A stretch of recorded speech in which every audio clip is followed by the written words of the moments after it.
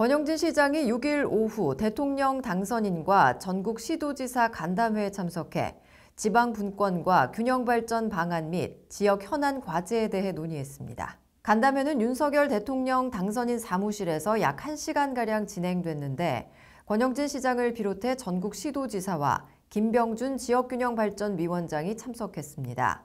이 자리에서 권 시장은 대구시에서 발굴한 대구 경북 통합 신공항 조기 건설과 5 플러스 1 신산업 육성 등 9대 분야 16개 사업에 대해 새 정부의 적극적인 지원을 건의했습니다.